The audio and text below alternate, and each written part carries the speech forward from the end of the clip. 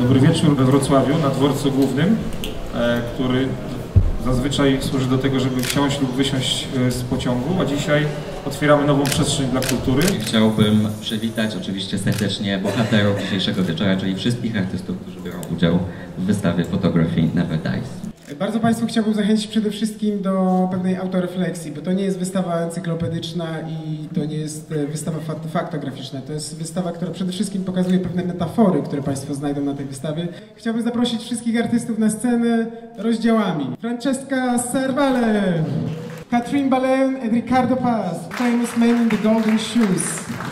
Curtis and Sondegar, Jean-Marie Donat, Volker Hintz, Artur Urbański, Tom Sachs, Eric Castle. Wystawa jest